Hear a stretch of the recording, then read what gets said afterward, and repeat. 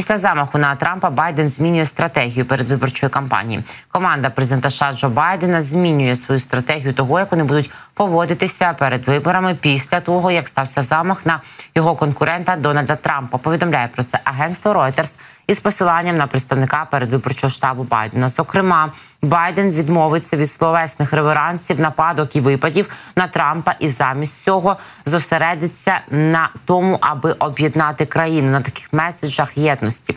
За кілька годин після стрілянини кампанія чинного президента зняла телевізійну рекламу і призупинила інші політичні комунікації, включно з висвітленням суду проти Трампа у справі про фінансові махінації зазначає Reuters. Один із представників штабу Байдена підкреслив, що замах змінює все. Ми все ще оцінюємо те, що сталося. Висунути аргументи проти Трампа стане набагато складніше. Президент намагається знизити температуру, зробити її такою поменшою, поміркованішою. Ну, бачимо, як е, змінюється ця картинка, як планує її змінювати Байден. Як говорив напередодні гість нашої студії Олег Лісний, політолог, що тепер два варіанти, два сценарії. Ми побачимо того, як потенційно може розвиватися передвиборча кампанія, хід і гонитва у Сполучених Штатах Америки, або кандидати дійсно візьмуться за голови і знизять ось цей градус напруги і будуть думати про безпеку американську, про єдність і про. Те, як повернути довіру до інституції демократії на загали безпеки в Штатах, ну або ж все таки такому пилу передвиборчому, в такій гонити будуть і далі думати на власне про електоральні бали і ці перегони. Ну бачимо, що нагадаю, Байден засудив а, під час свого одного з виступів. а їх взагалі було три ось таких вже звернень до нації після замаху Трампа. Цей інцидент потрібно єднатися як одна нація. Одразу промовляв чинний президент США Джо Байден.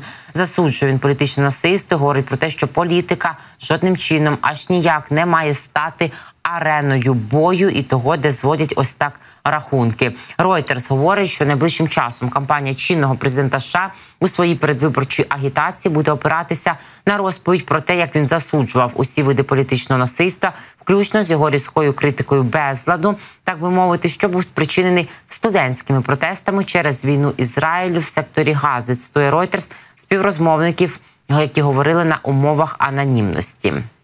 Перед замахом на Трампа на дах піднявся поліцейський, і він і бачив Крукса, стрільця. Про це говорить шериф округу Батлер. Втім, нападника ліквідували лише після пострілу в екс-президента. Перед самим пострілом у республіканця та 45-го президента США Дональда Трампа на дах будинку, на якому був нападник, піднявся правоохоронець, але він не зміг скористатися пістолетом. Як наслідок, Томас Меттю Крукс таки вистрілив у політика. А в цей момент снайпери секретної служби застрелили його. Повідомляє нам про це Associated Press.